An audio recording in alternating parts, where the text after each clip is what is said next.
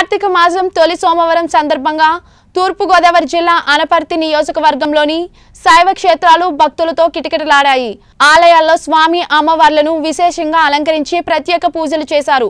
భక్తులతో శివనామస్మరణలతో ఆలయ ప్రాంగణాలు మార్మోగాయి.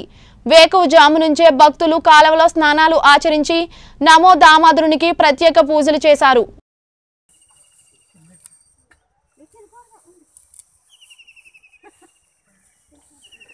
తినేస్తానంటుంది మా వెనకాల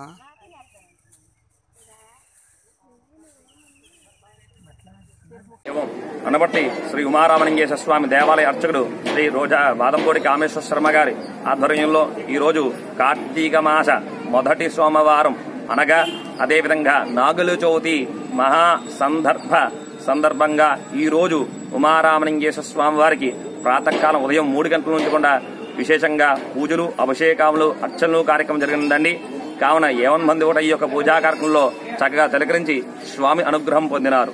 సర్వేజన సుఖనో భవన్ శ్రీ అనపర్తి నియోజకవర్గంలోని ఉన్నటువంటి శ్రీ మా ఈ కార్తీక మాస సందర్భంగా గ్రామంలో జనందరూ కూడా ఆకాశ దీపారాధన చేసుకుంటూ దీపారాధన నదీ తీరాన నీ దీపారాధనలు పుడుతున్నారమ్మా.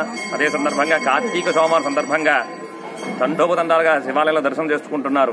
అదేవిధంగా మన అనపర్తి నియోజకవర్గంలో ఉన్నటువంటి శ్రీ సర్వకామదాంభ సమేత ఉమారామలింగేశ్వర స్వామి ఆలయంలో ఈ రోజు స్వామివారు మొదటి సోమవారం సందర్భంగా అది నాగుల చవితి తదనం సోమవారంగా స్వామి భక్తులందరూ కూడా తండోపతండాలకు వస్తున్నారు.